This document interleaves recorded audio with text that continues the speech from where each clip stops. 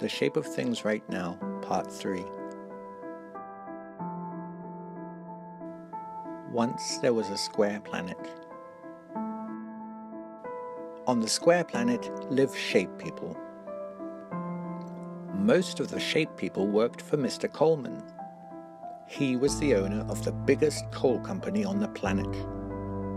Every day, the shape people would go to work where they would dig for coal. It was hard work, but it helped them buy food for their families. The coal was burnt, which made electricity. But the burning coal created a thick, grey, poisonous smog. And so some of the children became very sick. The hospital bills were too expensive for the coal workers. The medical bills kept on piling up so the coal workers went to ask Mr. Coleman for help.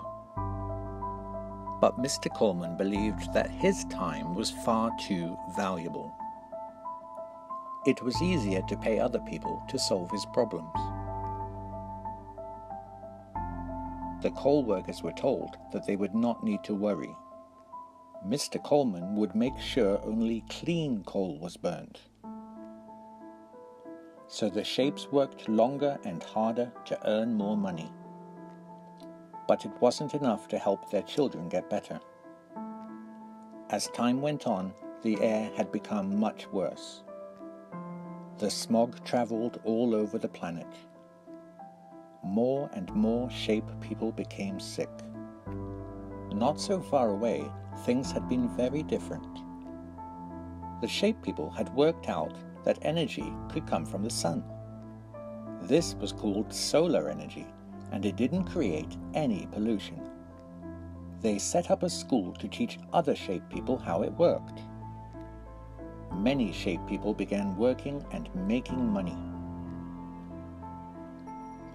When the king and Mr. Coleman heard about this, they were furious. So Mr. Coleman gave the king a lot of money the king did whatever he could to stop the people using solar. The news scared the shape people by telling them that they would soon all lose their jobs. This worried many of the coal worker shapes.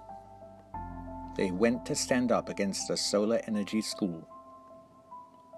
Over a short period of time, the smog traveled all over the planet and up into the atmosphere. The carbon dioxide from the coal caused the whole planet to get warmer. This changed the planet's weather and melted its ice. Many of the animals got stuck and could not get to food or safety.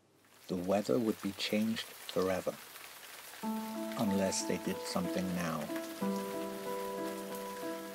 I wish I made this story up, but the truth is, it is very real the coal industry is extremely rich and gives huge amounts of money to politicians. In return, the politicians keep the coal industry alive. The truth is, people are starting to wake up and realize that coal production is harming the earth, and the release of carbon dioxide is causing floods and weather change all over the world. Melting ice is causing rising sea levels, killing people and animals the current President of the United States will not admit that climate change is real. He and his favorite news channel have been able to convince millions of people to ignore what is happening around the world. We have to act now, or it will be too late.